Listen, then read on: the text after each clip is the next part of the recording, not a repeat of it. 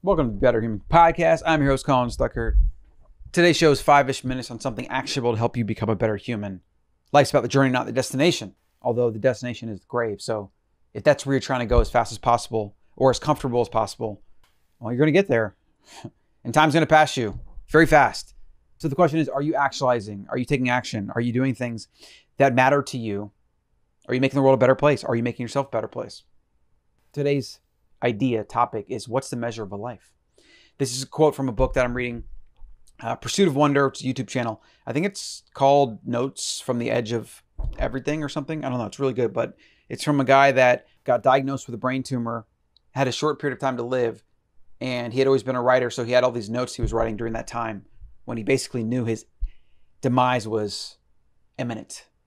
Even though our demise is imminent for all of us, we just don't know when.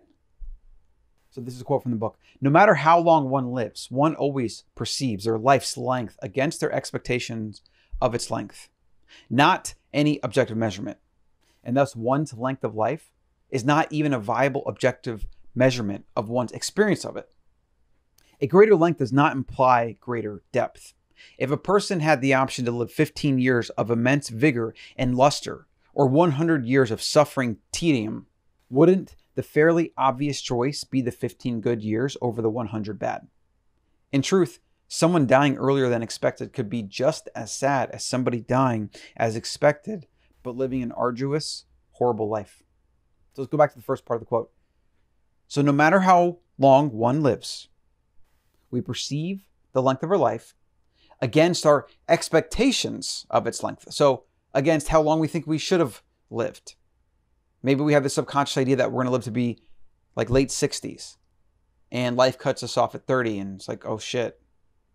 There's no objective measurement here. And he's also going into talking about the quality of life versus the length of life. He's saying that quality trumps quantity. It's better to live fully for a short period of time versus not fully or discontented or miserable or depressed for longer periods of time, right? That that's obvious when you mention it, but it's not so obvious in how many people live their day-to-day lives. They don't consider it. They think the goal is just like wake up every day, not cause too much of a ruckus, not take too many risks, not do things that are going to bring ire your way, and then just go to sleep and do it again. And then eventually you die. So I've been continually trying to refine the idea of what the show's about, what my content is about, what I want to talk about. And Better Human what does that mean, right? Because better is vague. I mean, even for some people, human is vague. It's like better human, okay? Like, is that some elitist thing about building better humans, an army of dominant humans? For me, it's about bettering ourselves. Every day I wake up, I want to become better. I want to make the world around me better. I want to build something, create something. I want to leave people better than when I found them. And then over my entire life, that theme of betterment will leave behind something that has had a ripple effect on the universe while also pursuing the mastery and the struggle and the good times and the bad times and everything that comes with that actualizing journey. Because again, as they say, you know, the Chinese said a long time ago, it's about the journey, not the destination. Life is a journey, right? Every part of it is a journey. Every moment on your journey is you living your journey, right? Like that's what life is. Life is moments. There's no future, there's no past, they don't exist. The now is the only thing you have. But we live in the future of the past. We have self inflicted suffering because we don't pay attention to the moment. We're always on, and again, not saying I'm good at this, like, this is what I struggle with. I'm constantly focused on not next thing. I want to be in the moment. I want to not worry about this thing or do that thing. I don't want to be so obsessively focused about what I'm going to get, what's next, goals, etc. I need to balance having those goals and doing things and building things with focusing on the present. I mean, the reality is like building something, creating something, and acquiring a future and working towards a future is manifested through the now. It's literally what I'm doing right now. And every moment of the day is that thing, right? Every moment of the day, I'm growing something, investing in something. I, you know, plans are coming to fruition. Things are adding exponentially more value and growth to it and blah, blah, blah. But the hard thing about our species is that our biology is designed to always be yearning, always wanting, always needing to get something else, something new, something more, some different area. The grass is greener, more food, more sex, more this, more that, more resources. Because that was what you needed to do to become the dominant apex predator on planet Earth, which is what humans are. Then we get thrust into this modern environment where everything's backwards, where you actually don't need to always be getting more and more and more and more. And if you do pursue more and more and more and more in our modern environment, it always comes with consequences, side effects, right? Eat too much food, we know what happens. Watch too much porn, negative side effects. Too much sex, negative side effects. Or having trouble appreciating what you do have, or keeping a stable relationship, etc. More money, give up time, give up health, give up family time, etc. We know that more is a sickness. Yet, as humans, we engage in it daily. We pursue it daily it's a hard thing. It's very hard. It's a lot of what I've been talking about, thinking about for years. You know, from the ancestral perspective, it's this idea that we have to first understand our biology. Why do we have these urges to always want this, that, grass screener? Why do we pursue that, even when we know at the forefront of our brain? Like, if we think about it logically, it's a hollow pursuit. It's uh, dangerous. It's it's probably even bad for us and our happiness and our fulfillment. Yet we still do it because those primal urges are so strong.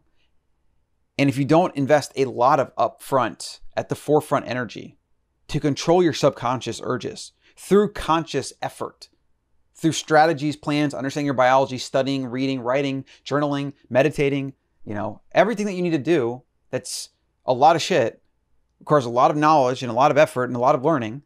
That is the human experience.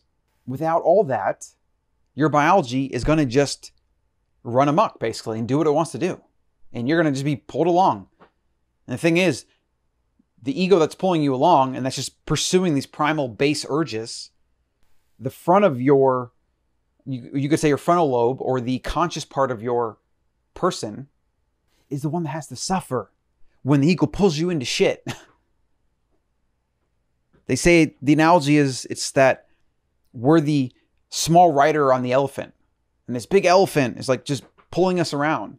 It's the the big elephant of urges, this huge, monstrous ton thing that is just pulling us in different directions.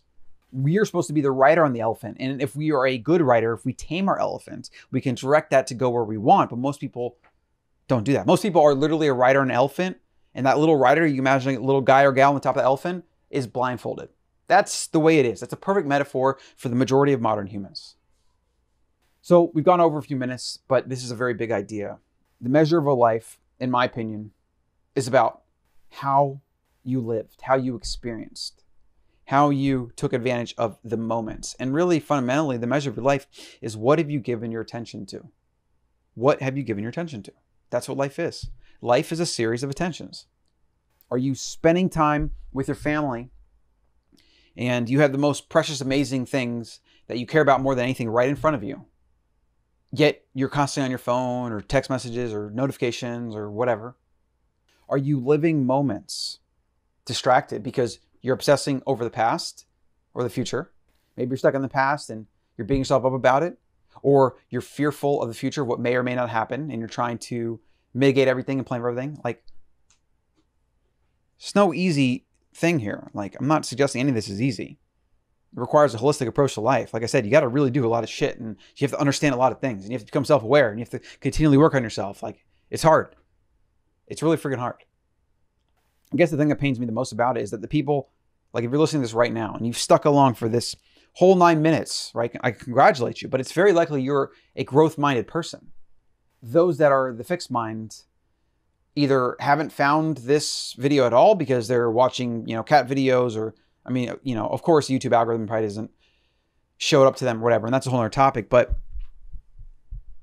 if you can sit here patiently listening to some random person on the internet ramble on about something because certain keywords appeal to you because you're growth minded, you want to grow, you know, etc. right? Like it's very likely that you are then in this unique bucket as a person like that.